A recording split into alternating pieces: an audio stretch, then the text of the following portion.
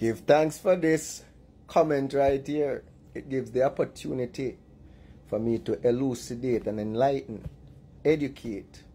All right? So let me do it properly now. Bring everybody, everybody that you know on the planet to listen to this. I am a cosmic portal. I bring you prime time information at this time so that you can ascend. All right? Some of us will be going through the ascension, some descending as well. All right? But let us separate truth from opinions and the noise. All right?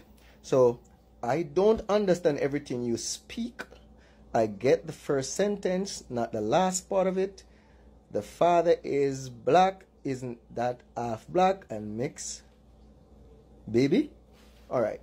So before, let me just explain the process of um, sperm epigenetics and egg genetics real quick so that we can build the foundation.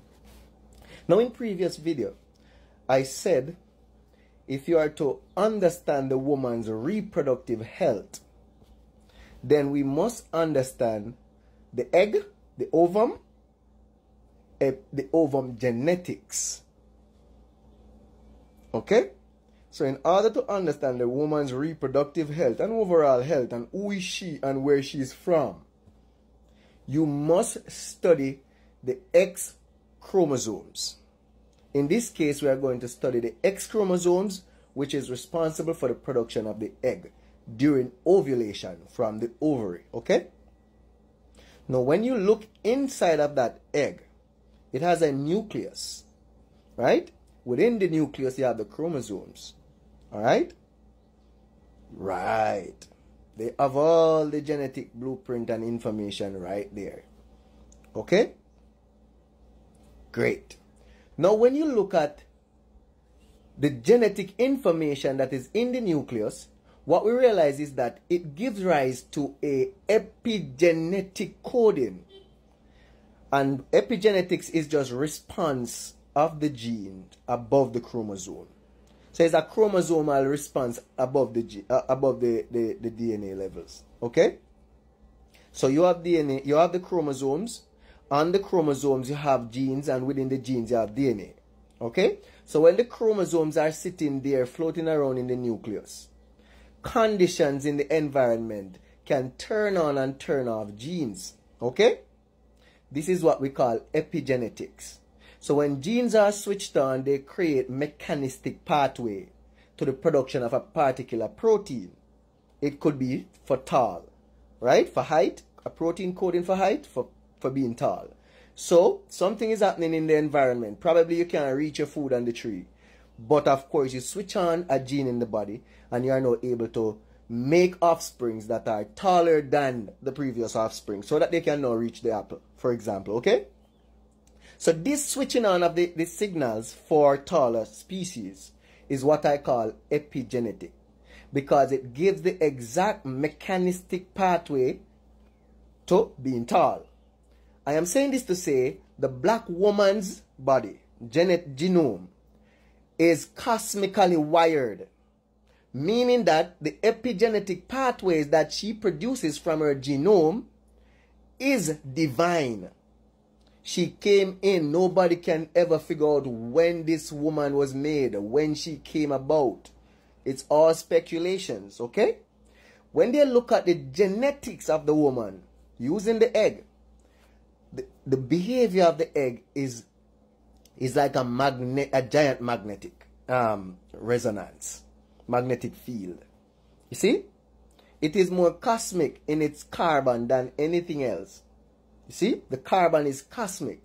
So the environment switches on a series of epigenetic pathways in the woman's ovum or the egg.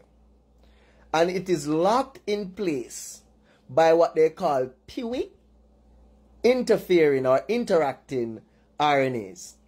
Okay? So these are real things that keep the gen epigenetic coding locked in place. Scientists have spent so many years almost 20 years now trying to figure out how they can break down this PIWI um, interacting um, RNA.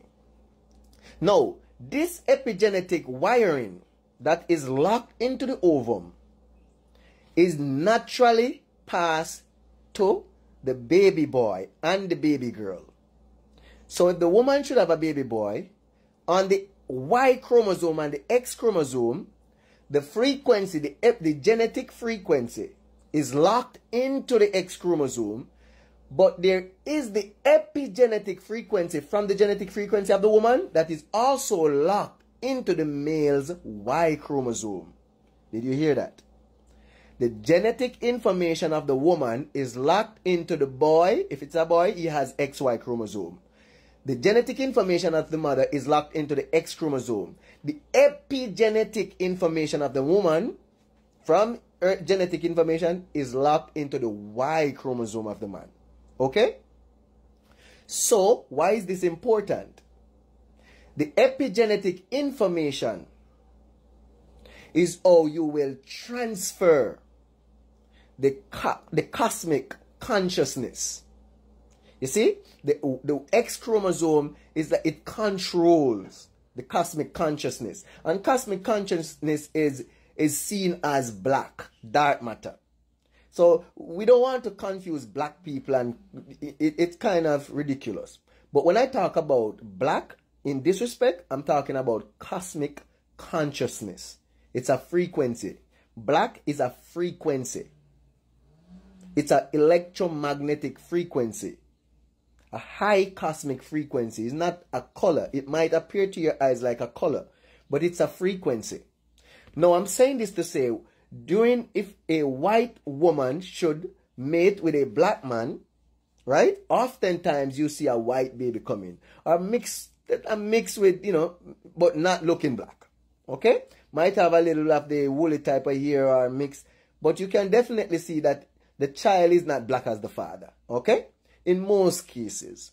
And I'm attempting to explain this that during fertilization, and fertilization is the joining of the nucleus of the egg and the joining of the, the nucleus of the sperm. Okay? It's not the joining of the sperm and the egg. It's the joining, the fusion of the sperm nucleus and the egg nucleus. Okay? Now, during fertilization, the sperm swim in, up the vaginal canal to the uterus. If the egg is in the uterus, great. But oftentimes it is, it is in the fallopian tube. So the sperm cells swim to the fallopian tube, depending on how much fructose is in that sperm cell and how much mitochondria. And the mitochondria is a signature of the woman's as well, of, of the mother as well. Okay? So they swim up and the successful sperm will be able to penetrate only after all the sperms amalgamate around the egg and create a resonance frequency which raises up the egg so that one of the egg one of the sperm cell can penetrate the membrane. When this sperm cell penetrate the membrane it releases substances in the membrane that further breaks it down. But later on, a cascade event occurred with calcium being released, which then goes back and solidify the membrane, seal the membrane off so that no other sperm cell could fertilize it. Okay?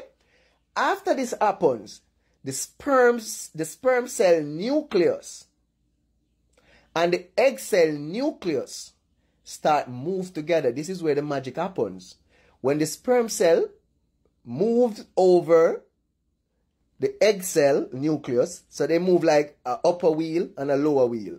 So the lower wheel is spinning this way, the upper wheel is spinning this way, right? This is how the nucleus fuse together. Alright? So two nuclei being fused together, the male and the female nuclei. This is what is called fertilization. But fertilization is only achieved when the resonance, the magnetic resonance is stabilized and achieved. If it is not stabilized and achieved at high frequency, then it is hard for the epigenetics of the male black essence to pass on to the child. Okay? And this is what happens in many cases. The epigenetic frequency is low, so the baby is of a lighter complexion. Okay? That's it.